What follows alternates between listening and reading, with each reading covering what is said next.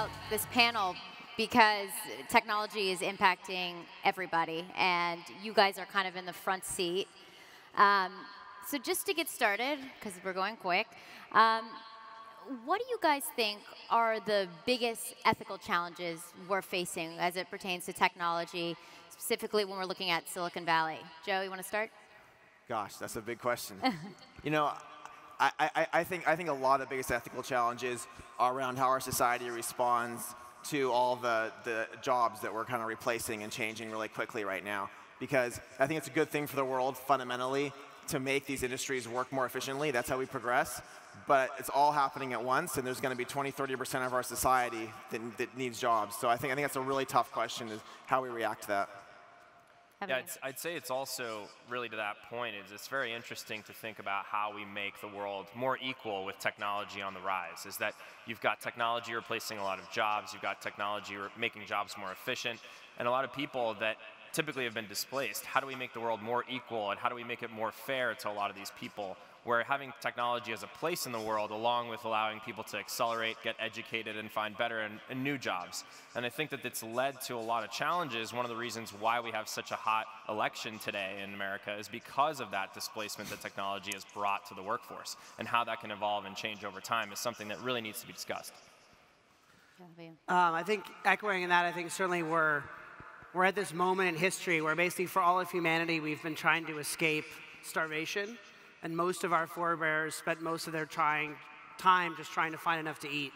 And now we're fortunate enough that over the last couple hundred years, the Industrial Revolution has enabled more and more people to come out of subsistence poverty.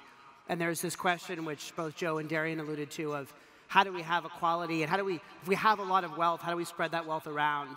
And I think there's a second question, which is a cultural question, which is we have so deeply programmed work as the central purpose of people's existence, this kind of so-called Protestant work ethic. What happens if we actually want a world where a lot of people aren't working? How do we have people feel a sense of satisfaction and purpose in an environment where work is not the central part of their life? Well, a little bit different from that as well. I've been really interested in the moral responsibility that um, designers at a handful of companies like Apple, Google, and Facebook have over stewarding a billion people's attention when they make choices about how this works. Whoops, how this works. Um, and if you're going to steer a billion people's thoughts or attention or choices or their time, how do you ethically think about that? And when is what's good for people conflict with the interests of business? And where does that conversation about uh, moral responsibility actually take place in an organization? Where does that happen on a Google Calendar in a week? And I don't, so if you guys don't know already, Tristan has kind of been coined Silicon Valley's conscience and, and someone that people are beginning to listen to with some of these ideas. So when you talk about software design and how we, you've said we almost need to take a Hippocratic oath. Um, designers need to. Uh, what is inherently flawed about software design, the, the design that makes us love Facebook, love Instagram, um, and what what can designers do to make it less addictive, especially when there's a business at play? Yeah. Well, I mean, I think one of the unstated problems of our current situation is the business model of advertising creates this unbounded incentive to hook people into spending time into bringing them back. So these, you have good intentioned people who, whether you're building a meditation app or a news website, CNN, or uh, Facebook or Snapchat, you basically still have to hook people into coming back. And so the attention economy creates perverse incentives that as each person tries to maximize attention and Netflix adds the autoplay the next video feature, and then YouTube adds the autoplay the next video, and then Facebook says we're going to autoplay the next video, it becomes this arms race. And so uh, I always think there's no evil people, there's just simply perverse incentives. So how do you align the incentives so that instead of competing for attention, uh, these different products are competing to help us spend our time well or help compete for fulfilling human values? I'm, I'm curious, like, how many people in the audience sometimes feel addicted to your phone? How many people, like, check your email and then look down and 30 seconds later and, like, you fucking checked your email again and you have no idea why you did? That's me. yeah. yeah. And, and one thing I think is interesting is we as, as societies, we, we choose to regulate things that are addictive.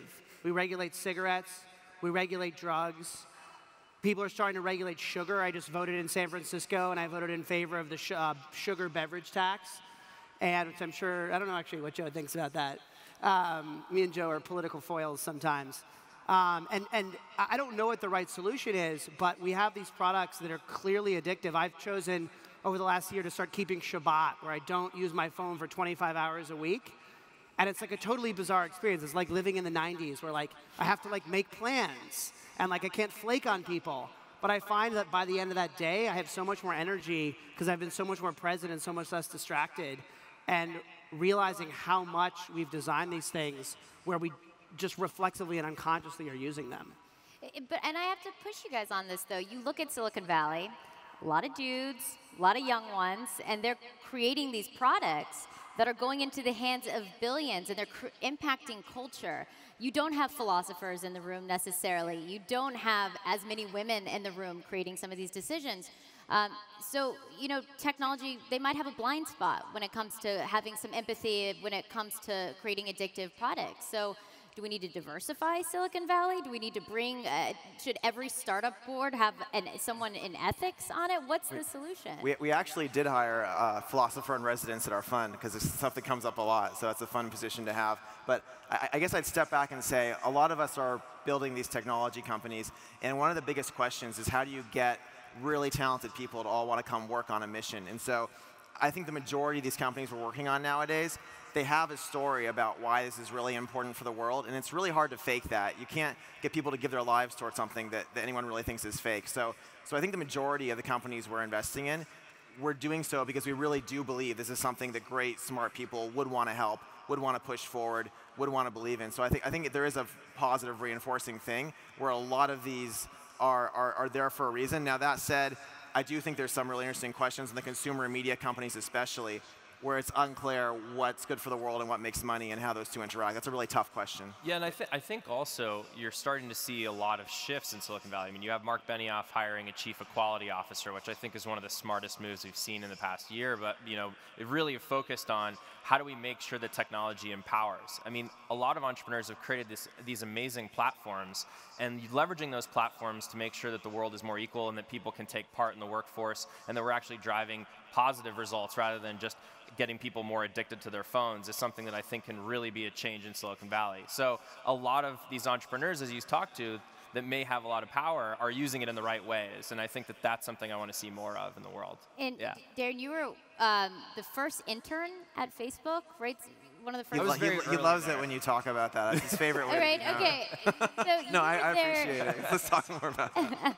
you were there back in the day. Um, early conversations with Mark Zuckerberg. I mean, when you guys were building out the company, were there conversations uh, about ethics and user behavior and and this type of thing. And then I also want you to tell me, because you told me backstage that you had had a really interesting interview with uh, Sean Parker, and he had said something to you that I think still kind of holds true to this day if he could ask the same question.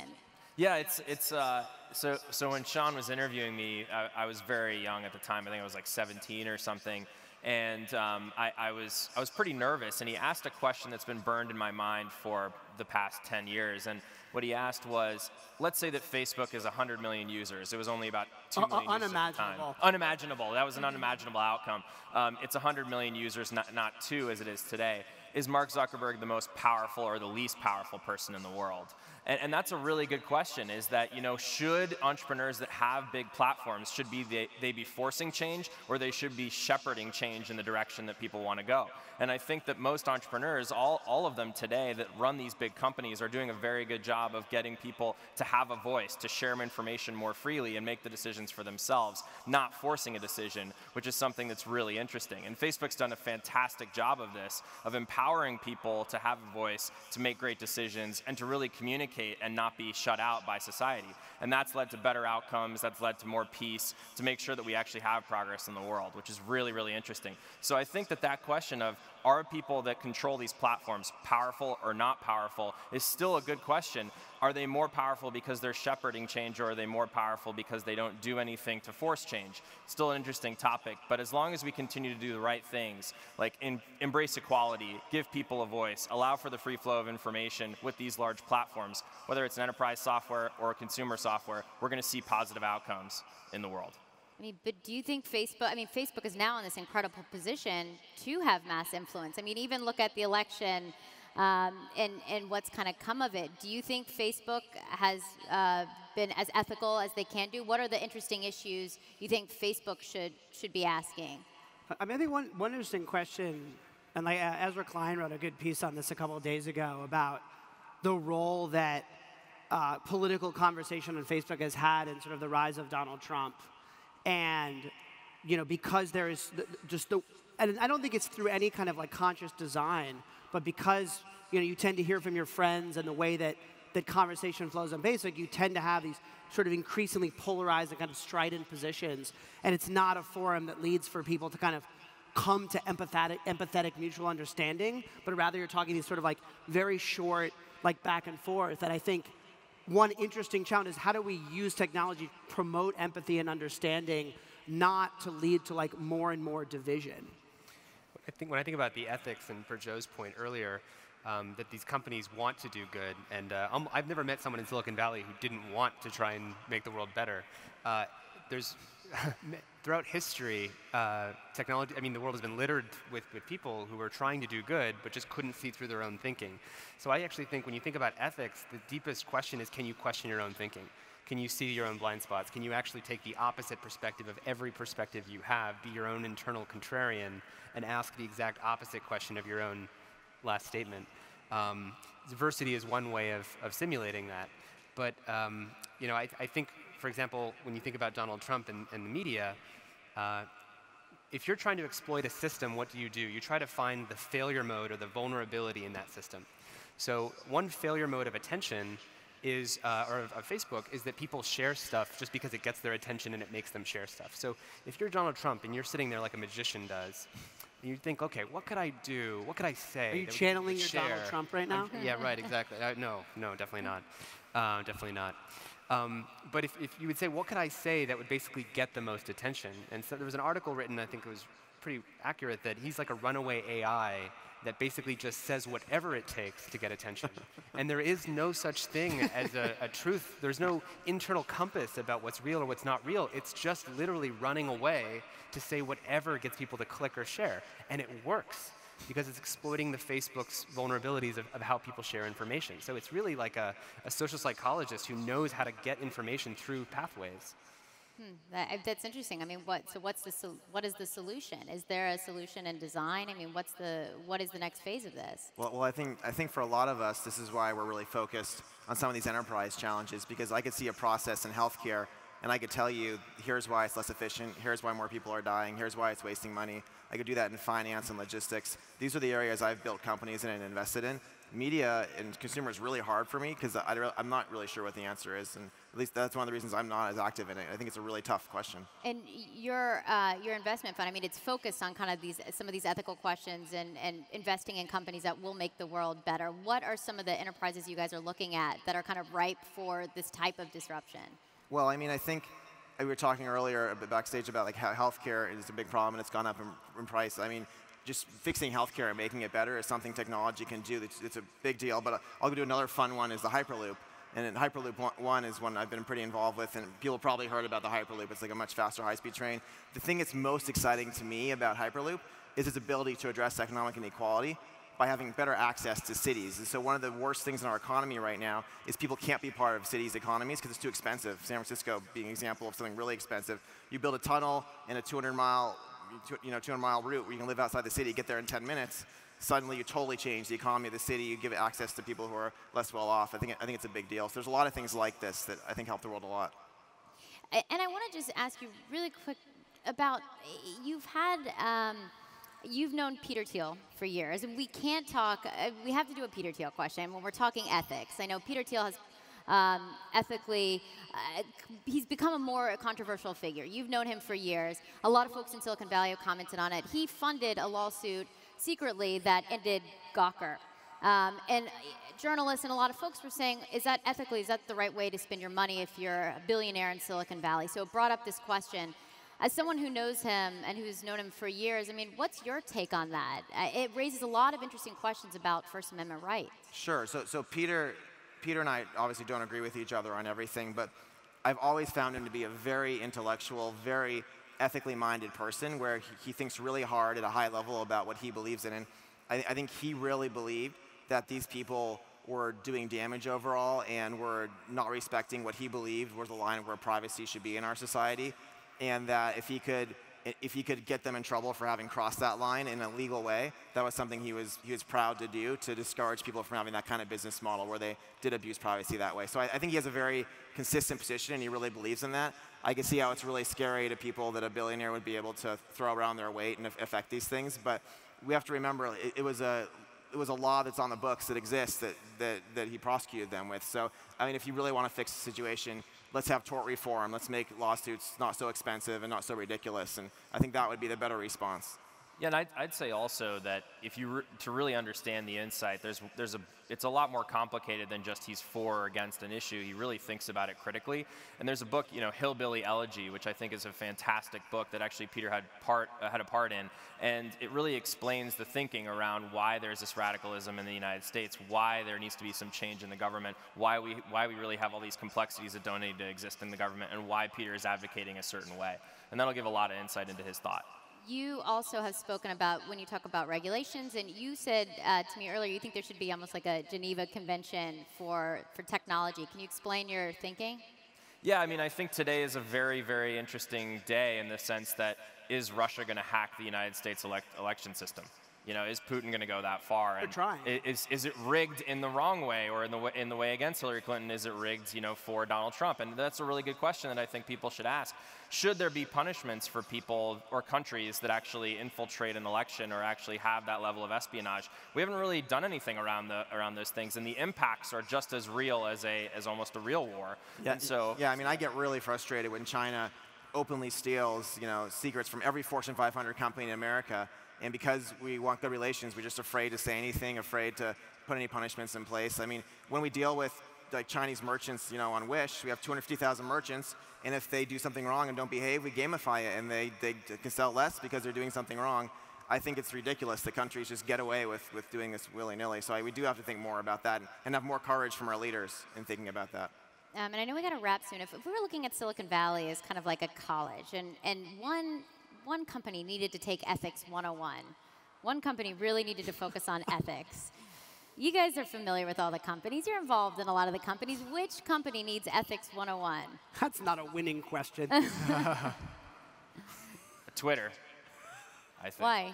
I, I, mean, I think that if you look at the amount of bots that are out there on Twitter that shape and affect people's opinions, it's out of control. It's very easy for a Donald Trump or for any campaign to basically create a bunch of fake accounts. And, and, and on the same side with Twitter, I would agree with Twitter actually. It's very inconsistent, it seems, to a lot of us who they ban, how they choose to ban them, what the rules are for that. A lot of it seems very politicized right now. Uh, I, I mean, I disagree with a lot of the far right noise people make on Twitter, but who they choose to ban, what videos are, are, are blocked with links, it's, it's, it's, it seems very arbitrary. So I think there's a really big question there where they may be abusing their power. I mean, and also the question of harassment, right? These are questions that, uh, when you talk about having responsible designers creating software, these are questions that I, are people thinking about when they create these technologies. Um, and who's responsible? Is it the tech companies responsible for creating the platform, or is it also, you know, users kind of sign up for this? I think the, the issue is that most users have no idea the incentives or the internal sort of goals of companies. So when they use a product, they think of it as we have this narrative that technology is neutral and it's up to us to, use, to choose how to use it. We don't realize that, again, in the case of the attention economy, there's 100 or in some cases 1,000 people on the other side of the screen whose job every day when they go to work is to find new ways to get you to use it. I might add to the list Snapchat because I think that uh, there's lots of ways that Snapchat, especially with younger populations who, who use it and are not aware of the techniques that are being used against them, uh, like the streaks feature, which is basically a, from the playbook of persuasive techniques, to basically hook you into not losing this streak of 150 days in a row you've messaged someone. It's very effective and it's driving a lot of kids really, really crazy. And Joe, I'll let you have the last word. Are you optimistic about the future of technology? Yeah, I, mean, I think I'm an optimist in general, but I think that I, I think there's there's a sense that, especially with the election today, that there's almost this kind of like impotence, impetus, impotence in taking on like big problems, like think, you know, eh, eh, eh, like you know, we see like inequality rising. Like no matter how the election in the U.S. goes today, across the developed world, there's a huge amount of frustration of folks that have been hurt by globalization, and no one seems to be really addressing that at its core. And that is going to keep getting worse and worse and worse, and it's going to express itself. You're seeing far right um, nationalist racist parties emerge across the developed world. And that is a huge problem. And until like the core issues there are developed, you know, I think often those of us in technology can be a little in a little bit of a bubble where everything like for us is amazing and so many folks are getting left behind. And, and I think, you know, like whenever it happens that self-driving cars, you know, become ubiquitous, you're going to see in the U.S. alone 15 million people lose their job in the matter of a very small number of years. That has never happened before. It used to take an entire generation for technology to replace a set of the workforce. And I think a lot of companies are like, well, that's not my problem. And if companies don't take responsibility for that, there will be like revolution in the streets. And so I think that we all need to really think seriously about how this affects, uh, affects people. Great. Yeah. Well, thank you guys. Glad you guys are thinking about these things. Thanks, Laurie. Thank you. Thanks.